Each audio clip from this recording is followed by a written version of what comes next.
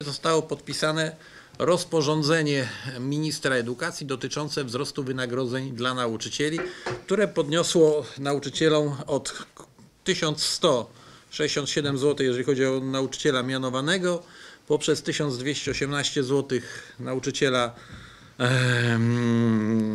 nieposiadającego stopnia awansu zawodowego i 1365 zł dla e, nauczyciela dyplomowanego. Te rozporządzenie zostało podpisane.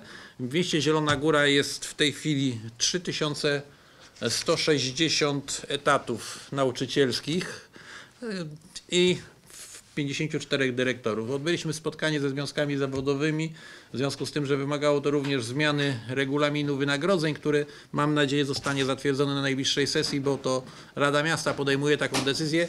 E, I e, zapadły ustalenia dotyczące wzrostu również dodatków, które są wypłacane bezpośrednio przez samorząd miasta. Czyli do tych kwot, które zostały podane przeze mnie na początku, dodawane są różnego rodzaju składowe, takie jak dodatek motywacyjny czy dodatek za wychowawstwo. E, Wysokość tych dodatków leży w gestii miasta.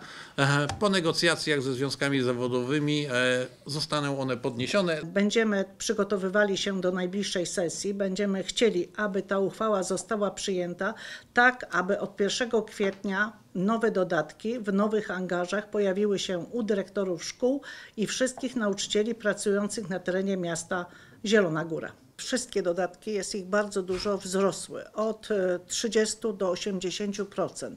E, I dlatego też trudno mi wymienić wszystkie, natomiast sam dokument będzie dostępny w momencie, kiedy my przygotujemy projekt uchwały i wniesiemy go do przewodniczącego Rady Miasta, tak aby on był e, też czytelny dla wszystkich.